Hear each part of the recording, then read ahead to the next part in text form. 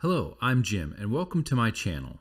Today on this video, I'm going to show a really quick demonstration of how to set up an interact system. And we've seen these in many modern games. When you get close to an object, we'll see a widget that pops up that asks us to interact. When we press the E key, it'll do something. In this case, this one will print the actor's name.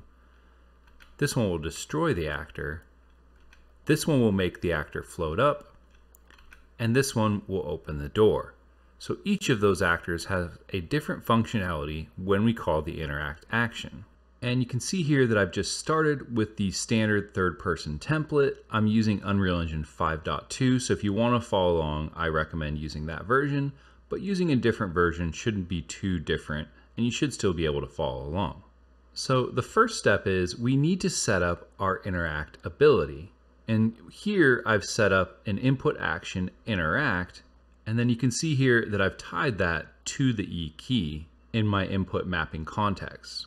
And the next step is we're going to be using a blueprint interface for this. So I've created BPI interact and in here we can see that there's just one function called start interact. So the next thing is we need the ability to know when we're interacting with something that is an interactable object in the world. For instance, over here, we don't get the widget, but if I go over here, I do.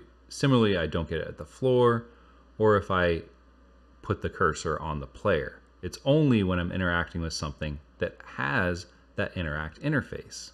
And to do this, I'll just show you quickly how we're doing this. We're going to use a line trace. So we're sending a line out into the world. And when that line touches something, we're going to check if it has the interact interface. So here on my event tick, we're sending a line out. We'll see here, this is a pretty common function that you would use to start at the camera and send a line out at a certain distance to the endpoint. If that line is hit by something, we'll see that here on this first branch.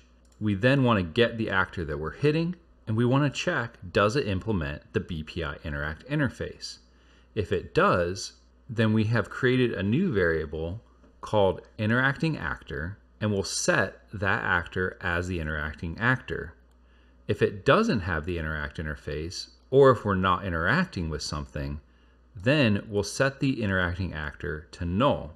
And then the last step is whether we want to show or hide the visibility of our BPI interact. We can see here I created a simple HUD that just has a dot right in the center. And then there's this interact widget that I made as a separate widget that I have here. And all we're doing is on our HUD, we are just setting whether that's visible or hidden. Then here with my input action interact, I'm doing a validated get of interacting actor.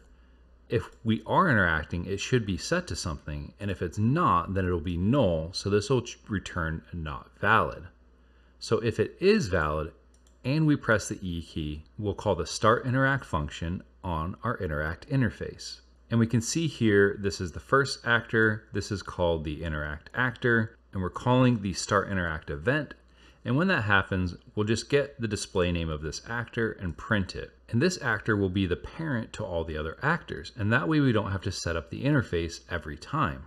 And we'll see that here on our destroy actor, we have this as the a child of BP interact actor. And on this one, we're just calling start interact, and then we'll just call destroy actor. The next one, which again we can see is a child, we call the start interact action. And in this one, we just have a timeline that will get the relative location of our sphere and just move it up into the world over some timeline. And the door switch is the only one that gets a little bit tricky. For this one, we've implemented an event dispatcher called open door. So when we start interaction, we're going to call open door and send that out into the world. If you're not aware of how event dispatchers work, I do have a video on that in my channel. But essentially what it is, it's a one-way communication. So this actor is going to send a message into the world and then any other actor listening will do something when it hears the message. Think of it as like an intercom system in a building. You can page someone and only that one person would respond to the page. Everyone else would just ignore it because they don't hear their name being called. And to do that on my door here, on event begin play, we're getting that door switch and we're binding an event to that open door event dispatcher. So when we hear open door, we'll call open, which is a different event on this actor, and that starts a timeline that'll just set the relative rotation of our hinge to open the door 90 degrees. And that's it. That's all you need to set up an interaction system in your game. For those that are interested, I've also recorded a time lapse of me setting all of these up if you wanted to see the order in which I'm doing things. And I'll put that immediately following this in this video. But if you feel like you've grasped everything and you've got it set up, then thank you for watching and I'll see you in my next video.